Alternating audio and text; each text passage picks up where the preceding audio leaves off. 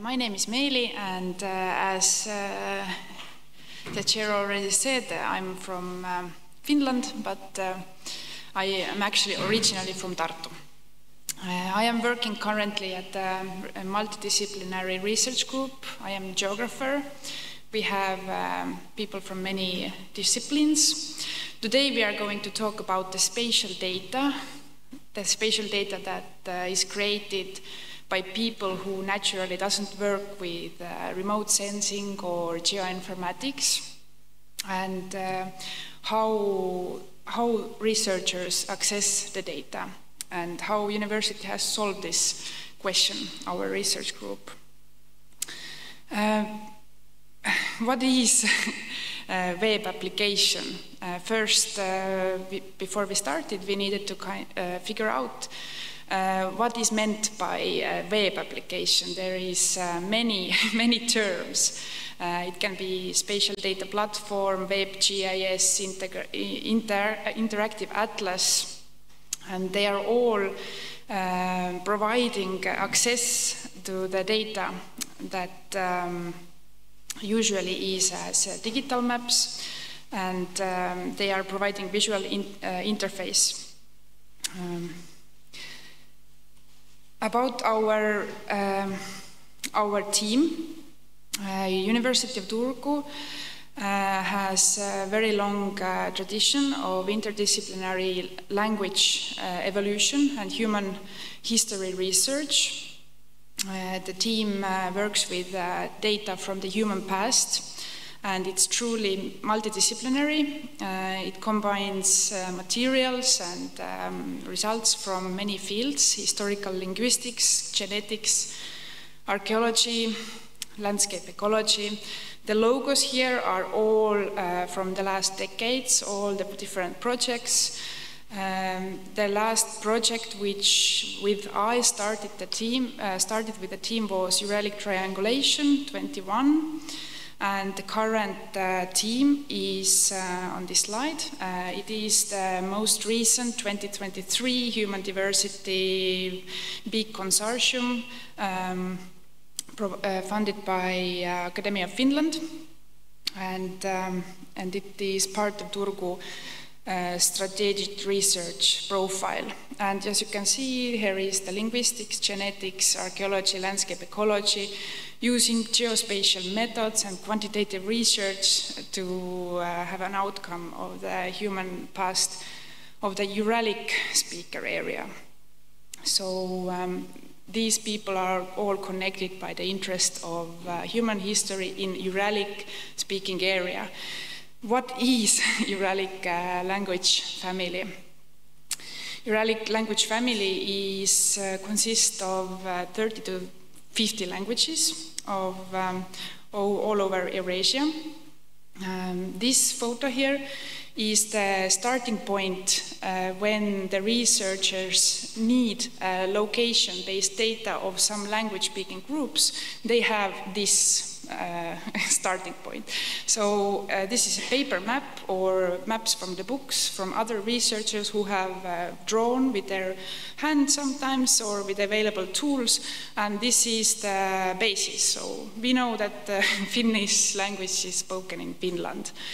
Uh, but there is uh, many, many other languages which are um, uh, also from the Russia, for example, Uralic language family, and they're digitized um, or drawn by other researchers, and it's not so easy to get it.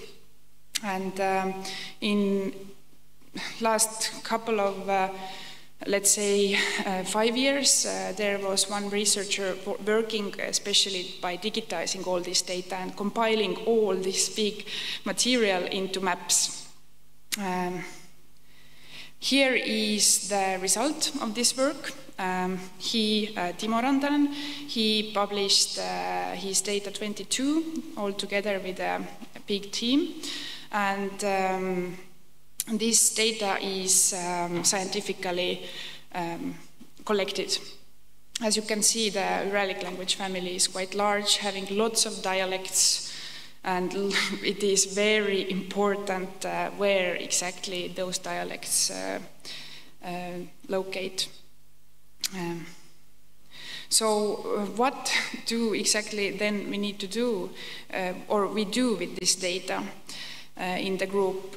Here is one example of, um, of the study, hypothesis of the human expansion um, we study the change of language, uh, the extinctions of languages, uh, study between the location of the languages, uh, the associations, and we also model um, the human past.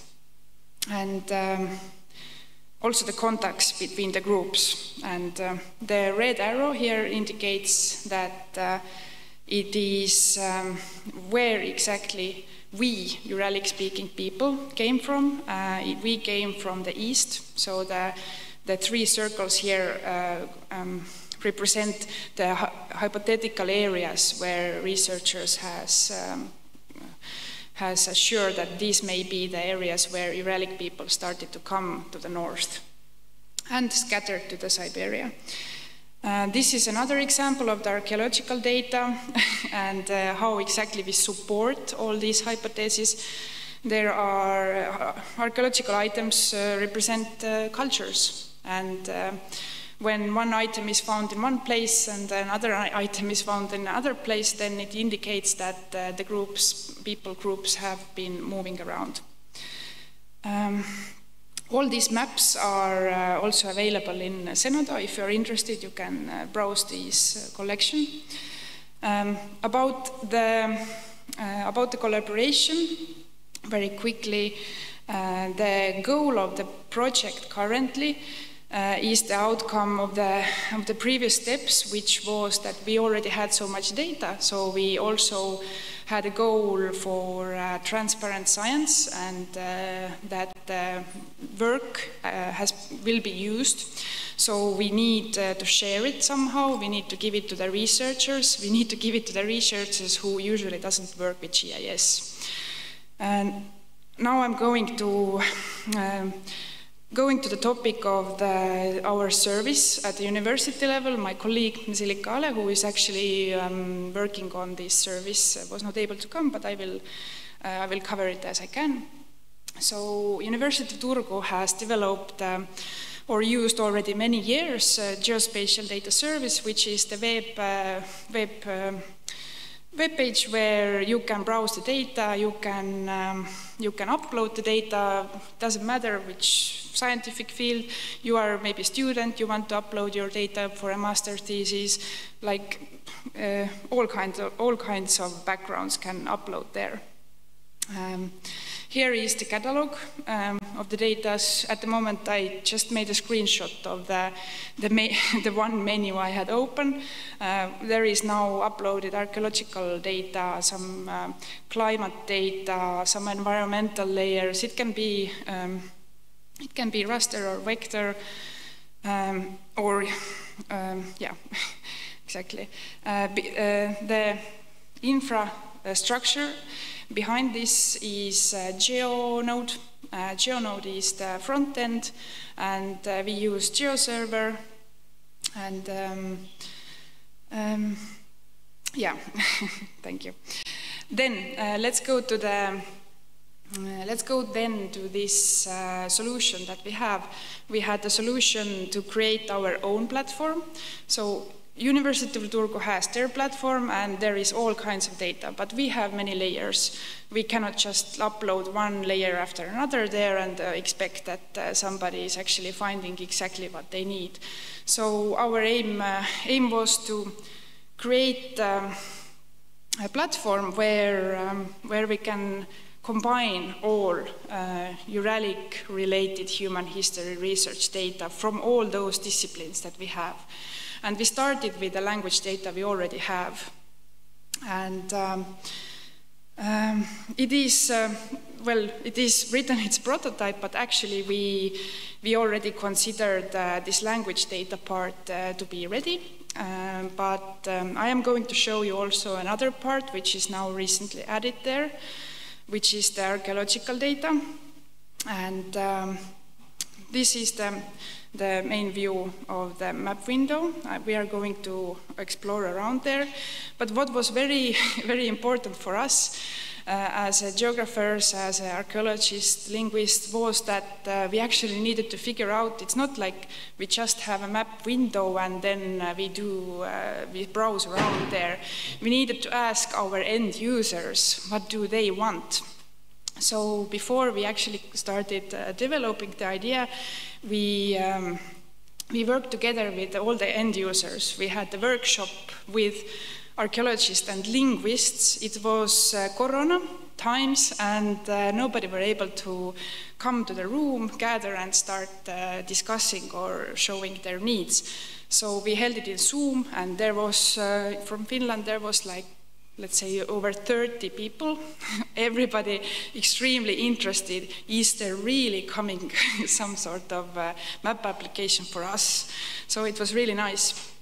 And uh, here is we have one publication of all the process, how we did it, how we discussed with the people, what was the outcomes. Uh, here is one graph of the of the result that uh, how what the process consists of what people are involved the geographers there is IT people then are the end users and what kind of uh, usage, usage what kind of profiles the users have uh, some people only want to uh, work with CSVs. they want to have the data in R. Some people uh, want only to browse around. Some people, um, yeah, just to look the map. Some people want to have ready map. Some people want to download this map and do themselves because they are able to use QGIS, for example. So many, many profiles. Um, also, very quickly, we also went through all possible platforms relating human history in uh, we had the coverage of europe. We didn't go like further to the world. We had the europe focus so we took there was like 30 platforms we found and we narrowed down to like over 10 to actually figure out what kind of solutions there is uh, how people handle temporal data because historical data has always this time aspect. You need to kind of somehow show the change of, um, of um, uh, variable.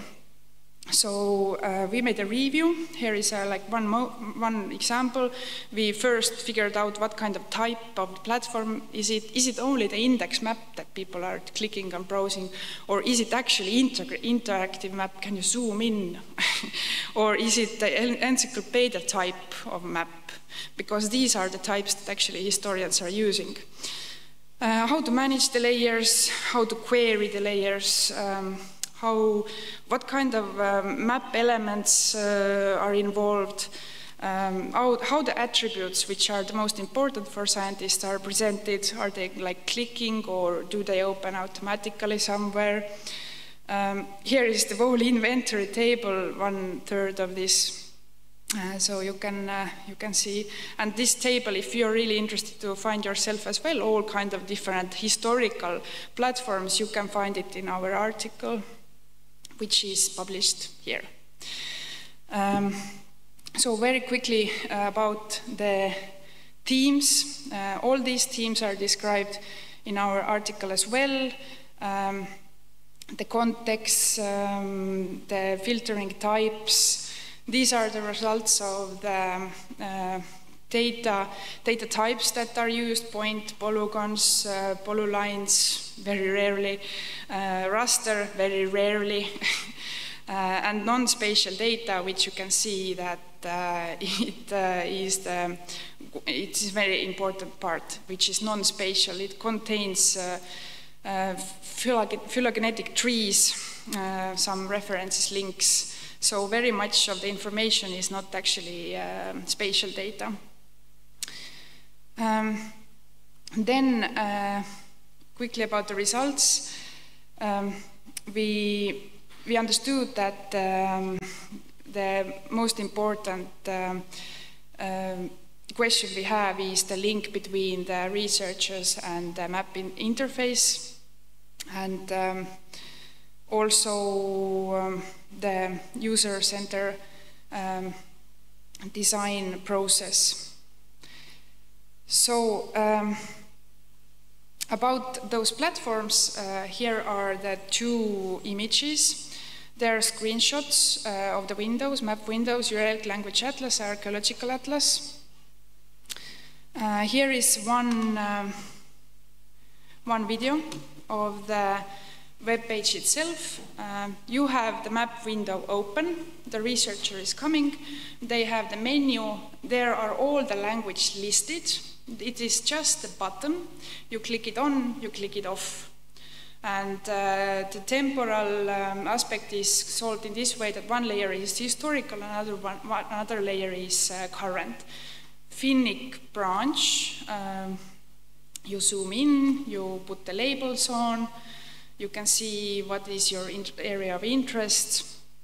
Then uh, about the, language change, uh, this is Karelian language uh, uh from 900, and uh, this is the current um, distribution of the language. So researcher can actually very quickly just click it on and off, doesn't need to load it somewhere and to see the change of the areas. Then, um, then one, one interesting aspect is also that um, the researchers are using actually very much uh, static maps, which is just PDF. They use it in their articles. And uh, in our platform, uh, we have a section of the maps themselves, where they, which they can use which actually have the, um, where it is under current development, but this static map here, which is just the image, they can click it here, it will jump to the university uh, uh, platform and you can actually with the same colors and with the same uh, uh setting you can go here and see exactly what layer it is and you can um, download it from here. Here is the download button. Um, so about uh, the archaeological artifacts, this is our most recent uh, work. Um, over 10 years, archaeologist has been sitting in the museum, photographing an artifact and uh, uh, cataloging it in the Excel. and uh, how to use it. Uh, load the Excel and uh, start figuring out. We created a database and we created a map, uh, map view for this. Currently, you can see that we have the we have one part of the data available. yesterday, our the whole data and the idea was published in Nature Scientific Data. Um, and here is the, let me go to the main view. Here is the example of the archaeological platform uh, map window. So uh, it's point data. Um, you click it on and off. The same, uh, same similar um, idea. Uh, here you can see that uh, in archaeological data you have a cemetery and there can be uh, findings of several, several artifacts in the same location. So a little bit different approach needed. You need to have, for example, the cluster map and then uh, on top, uh, on cluster map first and then you can browse in to see more closer what are the categories below this clustered area. Here is again another cluster map. Uh, then the same, same layer has also got a categorized uh, version where you can see exactly what kind of uh, data is available. So um, our future development uh, is that we would like to add all those photographs to the map. We would like to click it and you can see immediately what kind of pottery or sword uh, is available in this location. We want to improve the data query, uh, also the timeline filtering. Uh, GeoNode has actually a very good feature for this, but uh, we, this is our next, um, next steps. And um, thank you. You can find our, uh, our communication in X, and also here is the web page over here. Thank you.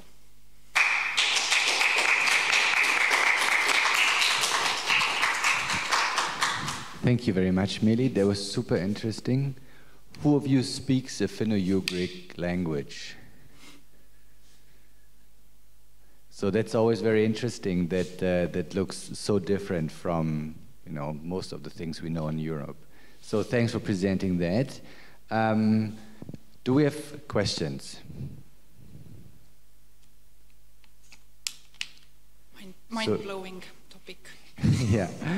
Um, so you showed us uh, that you use uh, GeoNode, right? Yes, yes. So what's your experience with GeoNode? Um, we have a good experience with GeoNode. Um, I do not know the specific, uh, like why exactly we have uh, chosen the GeoNode as this has been decided already previously. But GeoNode is easy to use and it's uh, like, um, it's modifiable by, by a person who actually know, to, know how to kind of make the changes in the code. For example, my, me myself have um, worked with a GeoServer. I'm a geographer. I am not IT specialist. Uh, they have very, very good, very good user guides. They have trainings. So our university geographers have um, participated in trainings, and uh, we try to maintain and do everything ourselves. You know, academics. yeah, exactly. uh, so. Um, so I think that's that's the easy part. That was really my point. So uh, mostly the scientists and uh, the, the researchers in the university use that as their tool, yes. and it, it works for them. And yes. you have a nice outreach, uh, and uh, people interested in the culture and the archaeology can come and look, and it uh, works out nicely for the community. Yes. That's good. That's really great to great to know. Uh, thanks for the talk. I really uh, enjoyed it. It was very interesting. Um, just about the outreach. So um, I observed that many uh, open source people are on Mastodon. So maybe you can also have an account on Mastodon as well. Um, then yes, you can reach more people of, of, the open source world. And the second thing, um, I also like that you uh, targeted your application towards many use cases. So for data people or only people who want to view the map. And um, what I um, observed is that a lot of these languages are in the in the north of the um, northern hemisphere. So mm. Then the map is a bit distorted. So it might uh, be you. Uh, like uh, like an idea to use a projection which is more another projection. Yeah, especially yeah. because this web Mercator is like especially towards the northern pole. It's like the areas are way bigger than they are in reality. So I'm sure there is a, I'm sure there is a code in map server where I can change the projection. I think with this we can break up a completely different uh, discussion because do you have OpenStreetMap uh, tiles available in a, in a uh, polar stereographic projection? No, because most of the web maps work only with the Mercator projection. Yeah, that, I mean that's there's, actually. There's additional things to do there. Do we have something? Or? Um, uh, sorry. You wanted to say something. I didn't want to. Yes, I, I think I, I, I agree with you that uh, what is available, we are using this what is available first, and if we need to, if it's like necessary, we try to start figure out. Um, we had, a, we had a similar situation in Estonia. So Estonia has its own national grid as well, and uh, I think it's changed now. But uh, the orthophoto were basically only shared in the Estonian one It was very difficult to get those as web map uh, as uh, as web map service into a, a, normal web map where you use where you had to use things like other backgrounds with uh, OpenStreetMap, for example, or other tile-based ones, because you would have to reproject, and that makes it's possible, but it's not as intuitive in the web, especially. Mm. But I think it's a good point that uh, those tile-based uh, systems maybe should consider that as well. That's good.